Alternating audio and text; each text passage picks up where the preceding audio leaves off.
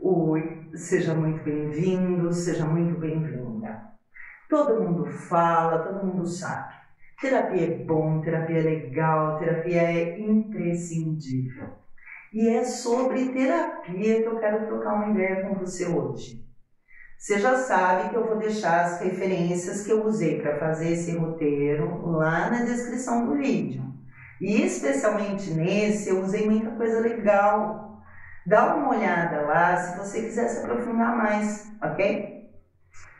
Para começar, eu acho que é legal a gente esclarecer os nomes que as coisas têm. Psicoterapia, terapia psicológica ou acompanhamento psicoterapêutico são as, a mesma coisa.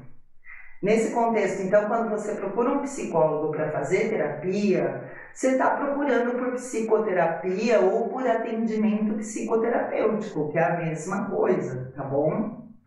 Já uma consulta, uma avaliação, uma orientação ou um aconselhamento são outras modalidades de atendimento psicológico e não são terapia. Então, um psicólogo clínico ele não vai trabalhar necessariamente só com terapia. Ele pode trabalhar com avaliação, seja para um psicotécnico, para determinada vaga, como a de um gerente ou de um comissário de bordo, por exemplo. Ele também pode trabalhar com psicodiagnóstico ou fazer atendimentos específicos de orientação. E isso não é terapia. E tem também a modalidade de plantão psicológico, que é mais acolhimento do que qualquer outra coisa e também não é terapia. Mas o top of mind da clínica psicológica é a psicoterapia, é sobre ela que nós vamos começar a falar agora. Eu já disse na série de episódios sobre psicologia fenomenológica que existem diversas abordagens em psicologia. São essas abordagens que vão ditar como o psicólogo vai compreender a sua problemática e como que ele vai se posicionar diante do que você apresenta para ele. São elas mesmas, inclusive, que vão determinar como o psicólogo deve se portar. Se ele for da TCC, ele vai se comportar de um jeito. Se ele for junguiano, ele vai se portar de outro. Por isso que é importante, quando você for procurar um psicólogo, você buscar saber qual é a abordagem que ele trabalha e se informar como que essa abordagem compreende, entende o humano. Hoje eu vou falar de como funciona a terapia dentro da perspectiva fenomenológica, que é a abordagem que eu amo e trabalho. Na psicologia fenomenológica não existem técnicas prontas, não existem modelos que eu possa aplicar a todos os meus pacientes. Então não dá para eu dizer como trabalhar de uma forma padronizada. Para a fenomenologia, cada paciente tem a sua demanda específica e isso requer uma intervenção específica. O lugar onde a terapia acontece é o que a gente chama de espaço terapêutico. Esse espaço é onde a gente entende que duas existências se encontram. Veja que eu não disse. É o lugar onde o psicólogo, o sabedor de técnicas, e o paciente, que é o doente, se encontram. Eu falei sobre o encontro de duas existências. Diferentemente da TCC ou da psicanálise, aqui a gente tem uma proximidade com o paciente. É o humano cuidando de humano e não um ser que está num nível acima hierarquicamente cuidando de um que está abaixo. E essa horizontalidade ela é fundamental para a gente estabelecer um vínculo legal. O vínculo que eu quero atingir com o meu paciente é de cumplicidade de confiança. Isso porque a gente não diz o seu comportamento é assim porque você está recalcando ou porque suas crenças são limitantes. Eu não me pressuponho sobre ele para tentar adivinhar o sofrimento dele, ao contrário disso. Eu vou junto com ele num sentido de ajudá-lo conscientemente a encontrar uma lucidez Lucidez no sentido de luz mesmo, de iluminar o que estava escuro, nebuloso na existência dele. A ideia é que a terapia ela funcione como se fosse a abertura de uma clareira na floresta, que é um exemplo a propósito que a gente usa muito aqui na Fenon. Sabe quando uma árvore cai e abre buraco, aquele buraco iluminado no meio da escuridão da floresta? Então é mais ou menos, mais ou menos assim que vai funcionar. Como que de mãos dadas eu vou junto com o meu paciente entrar nessa floresta, que é a existência dele, para abrir clareira, para iluminar o espaço dessa pessoa, para que ela possa enxergar melhor o que está acontecendo com ela e ao redor dela. E aí sim, lúcida e consciente, ela própria vai ter condições de se livrar dos problemas dela, das preocupações. Eu digo que de alguma forma eu ajudo o meu paciente a encontrar os próprios instrumentos dele para lidar com o sofrimento. Por isso que a intervenção da, da Fenon não é a aplicação de determinadas técnicas, mas um caminhar junto. É na confiança e na cumplicidade que a terapia vai fazendo surgir uma nova série de, de sentidos para as coisas que antes estavam veladas para o paciente. A gente vai junto procurando os significados dos conceitos mais profundos para o paciente. As questões fundamentais para mim na terapia são quem é e como é o existir desse meu paciente, ou seja, como ele se relaciona com o mundo e com a própria história dele. Veja que o quem e o como são bem diferentes de o que o paciente tem ou o que ele é ou onde se encaixa. De uma forma até poética, a Feijó fala de um ser que via terapia se abre para as possibilidades. Bonito isso, né?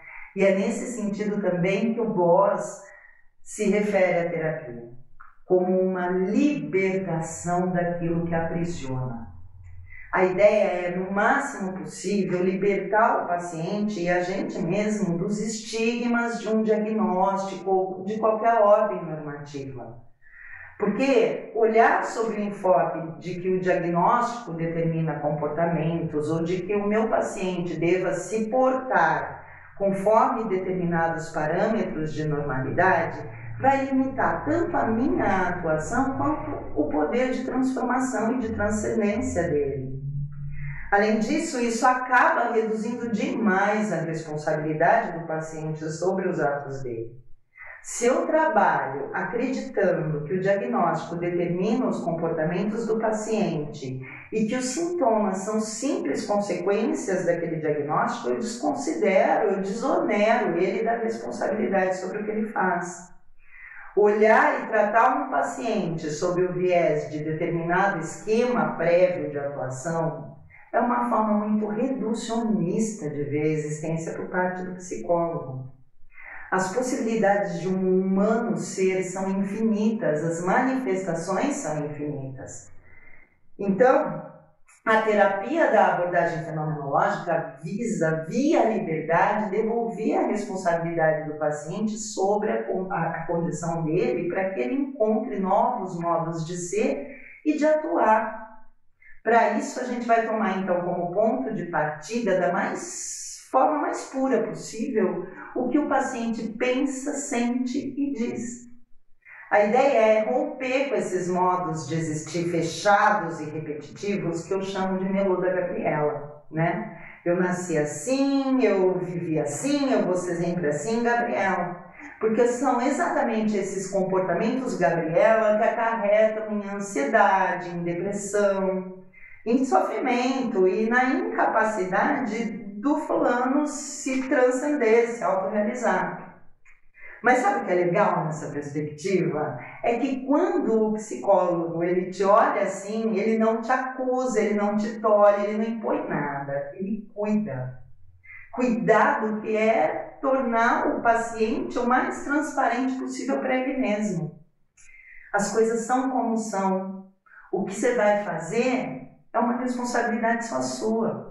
E quando essa apropriação acontece, ele consegue se enxergar e tomar a existência nas mãos dele. E agora sim, ele vai poder responder às demandas do mundo dele com mais consciência e liberdade. Em outras palavras, o, o, paciente ele consegue enxergar a dor sem nenhum viés que não seja dele próprio. Ele se torna apto para escolher quais as possibilidades de lidar com aquela questão da sua dor. A gente vai buscar junto com o paciente outras possibilidades dela ser, dela se manifestar, dela sentir as coisas. Eu digo que a, a, psicologia fenomenológica é a mais compreensiva de todas as psicologias, porque é na mais pura compreensão que a gente se pauta. É essa compreensão que sustenta a nossa escuta. Ela me ajuda a direcionar aquilo que eu escuto para tentar me aproximar o mais perto possível do problema da pessoa. Veja que eu disse uma escuta para tentar me aproximar do problema e não uma escuta direcionada para encontrar logo uma solução para ele. Isso de direcionar a escuta para solucionar o problema alheio, de onde eu estou vendo, não resolve o problema do paciente. Para nós, só quando o psicólogo ele abandona esse desejo louco de resolver logo o problema do paciente, é que ele vai conseguir de fato ouvir o que o paciente tem a dizer. E é isso que a gente chama de escuta terapêutica, que é quando a gente permite que o paciente seja tal como ele é, sem inferências teóricas a respeito de como ele deve ser ou como ele deve se portar. Ou seja, eu não tomo para mim a responsabilidade perante o existir do paciente. Eu não ajo no lugar do paciente. Como psicóloga, eu simplesmente assumo uma postura de que o paciente é que deve ser o rei do próprio reino dele e não o psicólogo. Eu não me considero nem conselheira desse rei. A ideia é que o meu paciente ele se aproprie do problema dele. E essa é uma diferença fundamental entre a perspectiva fenomenológica e as outras. A ideia é que o paciente tenha domínio sobre as coisas dele e dê sentido para tudo isso que se apresenta.